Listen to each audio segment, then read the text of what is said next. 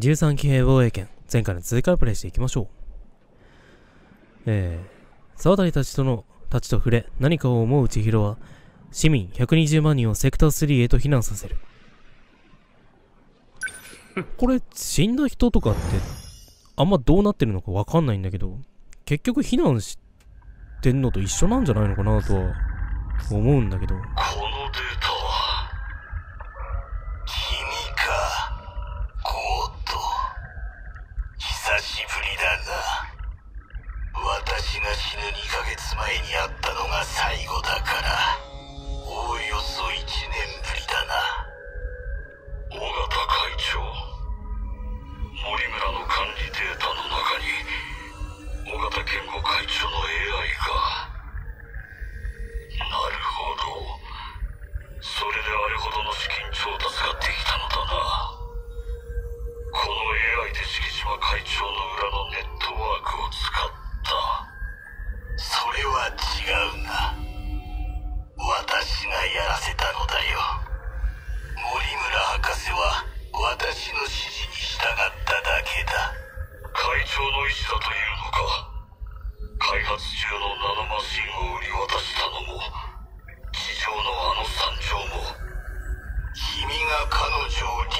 するから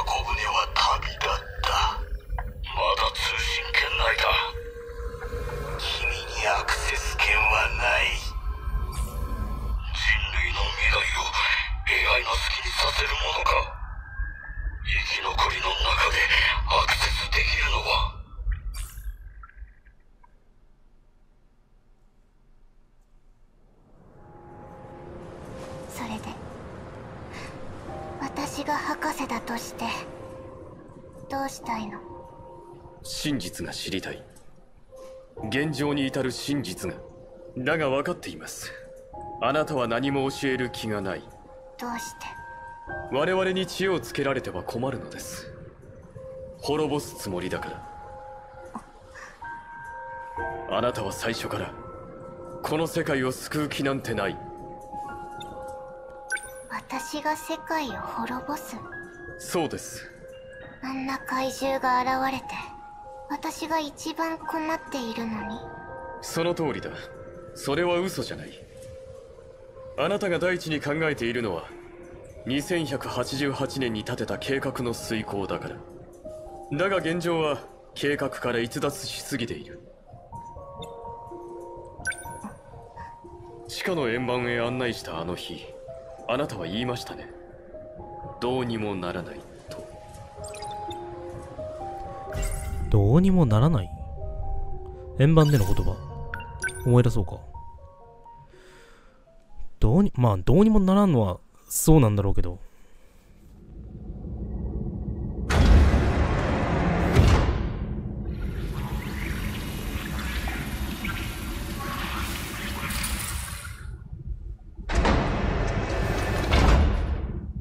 ここが UFO の中枢えまったく沖野くんったら真面目にやらないくせにこういうところだけ無駄に凝る。え沖野こっちの話よ。それよりこのありさまは。不穏な出来事でもあったのかしら？そうですねそうですねじゃないんだよな。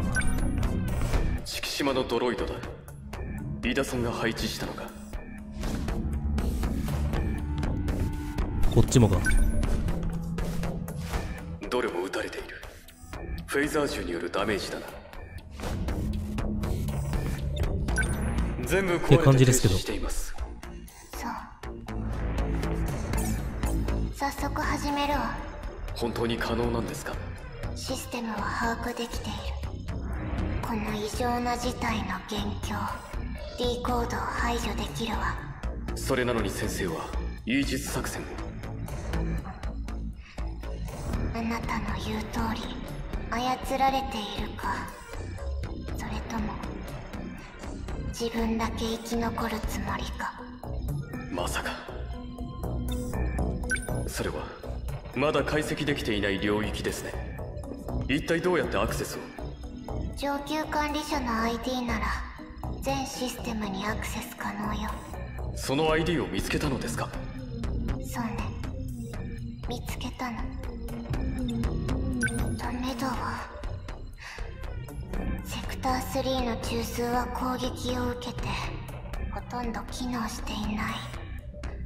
ここでは処理できそうもないわね。仕方がない。指令船に直接命令を送るわ。指令船 UFO を管理する。軌道上の母船。未来人の箱舟ですか？宇宙人の侵略基地かもね。指令船と通信は途絶えている。地平線の影に隠れている青年。通信再開まで35分か待っていられないわ。別のリンクを探しましょう。この修正で D は現れなくなるのですか？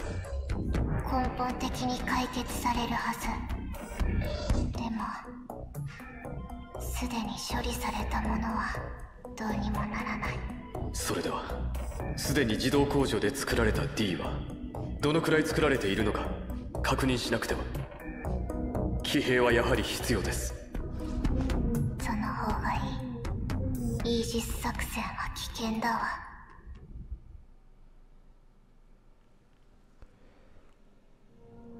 ウサギ慣れてんの可愛かったね。つまり D コードが起動した後ではどう修正しても計画に影響が残る。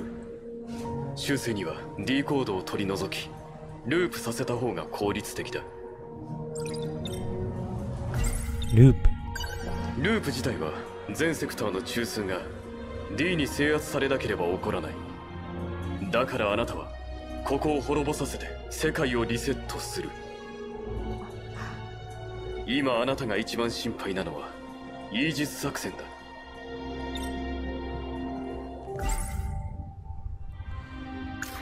イージス作戦。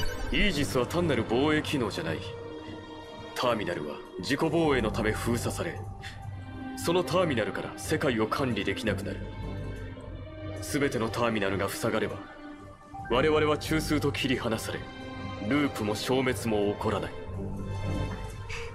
だがそうなってはあなたの計画は失敗だ。計画のゴールはここではないのだから。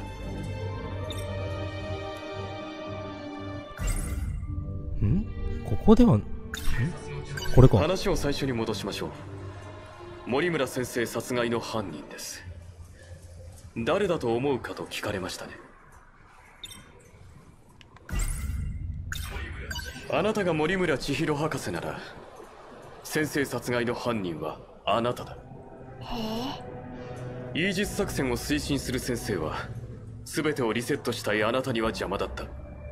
面白い推理だけど言いがかりね。あなたがどこか私を敵視する理由はわかりますあなたはゴートレンヤによって入面者を追われた。買収元である敷島にとって邪魔だったからだ。その後あなたはこの箱舟計画を率いる。尾形健吾の指示で。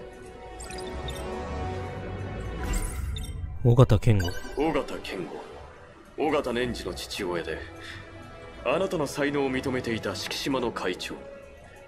彼は老衰で2187年に亡くなっているだが私がここで言う尾形健吾とは死後あなたが秘密裏に彼の記憶を複製した AI の名だ。あなたはそれに操られていた。助言をもらっていただけよ。それも記録ね。ええ。ゴーとレンヤがその AI を見つけた。あなたの死後コロニーでの記録ですクローン。あなたは18歳になったクローンに記憶のダウンロードを施すようセットしている。あなたがこの計画に対し人類を救う使命感があったのは間違いないが尾形健吾を復活させるためだというのも事実だ。森村千尋のクローンに森村博士が入るそしておそらく尾形年次のクローンに尾形健吾が入る。だからあなたは計画通りにこだわるあなたから見れば森村先生は保身のため計画を台無しにする出来の悪い分身だ。殺すのにためらいはない。残念だわ。やはり始末するほかないよね。さよなら。だから言ったのに。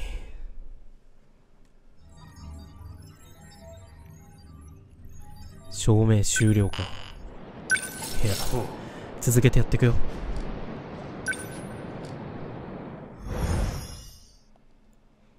多分これが最後だよね。メタスキルの解析を開始。ヒッチが頼んだことって何なの？ないと思うわ。完了したらそちらにデータを送る。助かります。しかし呆れるわ沖野くんがこんなふざけたものをここの管理システムに採用していたとはね。ありがとう。いやこれは俺じゃなく沖野が。沖野くんが？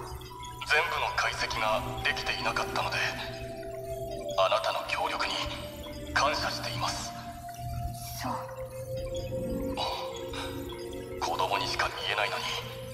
あなたはすごい方のようだ。私からもお礼申し上げます。では戦闘中につき失礼します。丁寧だな。あの子がありがとうが。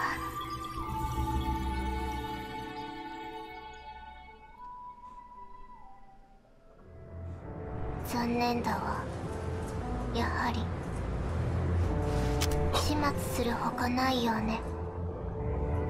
さよなら。え？その銃で私は撃てません。なんで？イージスを知る邪魔者は生かす気はないということですか？え、なんで撃てないの？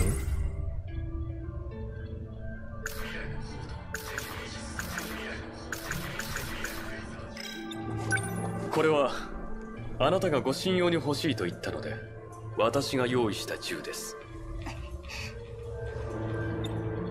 それなら今度はあなたがその銃で私を撃つのかしら。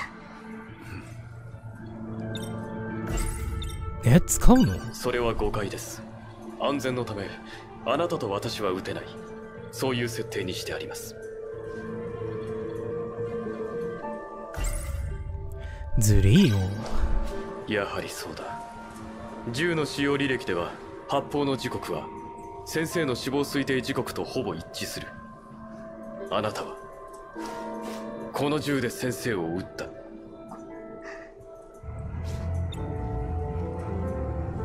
それに事件当日本当はドローンで森村先生を監視していましたね。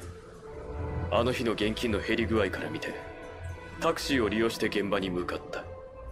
そこまで調べておいて今までとぼけてずいぶん泳がしてたよね。い。つから気がついていたの？私が博士の方の森村千尋だと。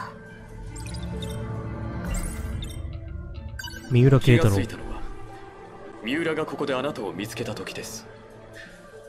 あなたは三浦を優秀な設計技師だと言っただが設計技師は2188年の三浦だ。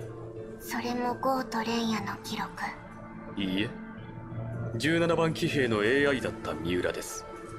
彼は記録の存在も私に教えてくれました。それで私をどうするの？殺さないなら閉じ込める？先生のことを思えば内心複雑ですだが感情的に恨みを晴らしても起こった結果には何も影響がない。それなら私は真実により近づく方を選択する。私は知りたい。先生も知らない。この計画のその先を。あなたは分かりやすい嘘をついた。泉十郎は自分の趣味ではないと言ったが博士と2188年の泉は深い関係にあった。セクター1にあなたと泉がいる。意図的な配置からもそれはわかる。あなたは記憶移植を設定する前に死んでいる。おそらくそれで泉があなたの意を組んで成し遂げた。復活を望む尾形健吾はわかるとしてなぜあなたも記憶を移すのですか？それは導くものが必要だからよ。指導者がいなければ人は仲違いを始める。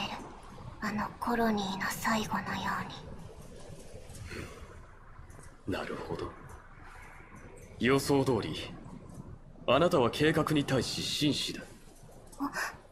そこで提案があります。私と賭けをしませんか。あなたの望み通りターミナルを残します。イージスで全てを塞ぎループを閉じたりはしない。それで？この状況。確かに計画通りには戻せない。だが考えてみてください。最終工程を終えたその先にもおそらく苦難や問題は次々と待ち受ける。我々が未知なる問題にも自力で対処できると証明できればあなたの計画を引き継ぐその資質があるとは考えられませんか？それは一理あるわね我々がこの問題を解決してみせます。邪魔はせず戦わせてくれませんか？失敗ならリセットで構いません。かっけあなたに勝ち目はないわよ。さてそれはどうでしょう？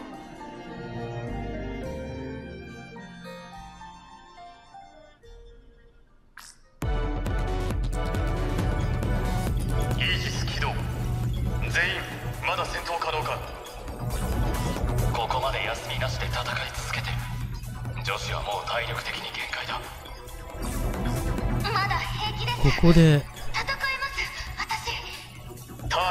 今までやったところの一番新しいところに来てるのかイージスで守れるだが最後のターミナルはイージスに頼れない。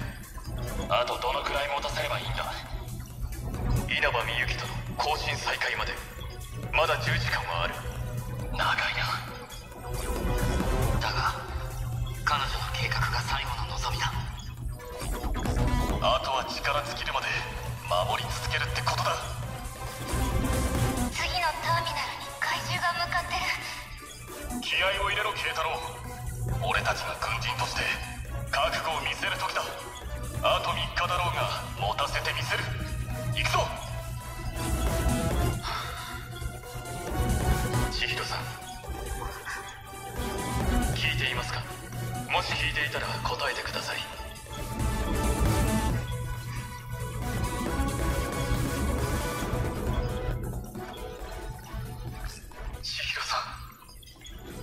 何かしら？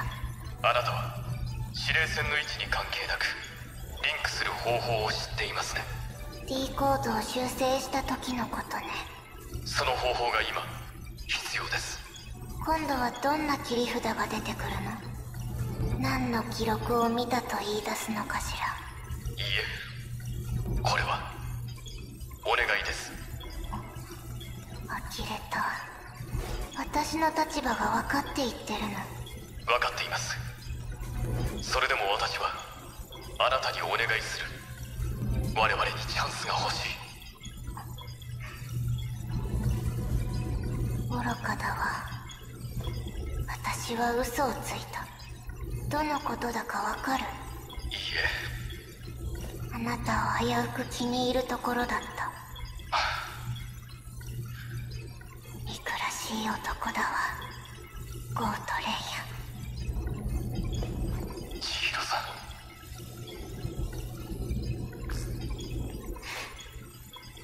いいあなたたちよく聞きなさい。通信範囲の外にいる司令船との交信のため3つの監視衛星を中継位置に移動させている。間もなく接続するわ。ただし衛星は無茶な移動をさせたから重力につかまって大気圏に落ちるわ。つながるのは衛星が落ちるまで長くは持たせられない。分かったわね。ありがとう。まったく人間は愚かだわ。その最たるものが私というわけね。もしこれが全部うまくいったらあなたたちが責任を取りなさい。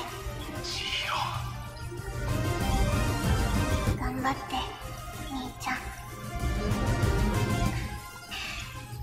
あと少しでつながるチャンスはこれっきりよ。更新開始。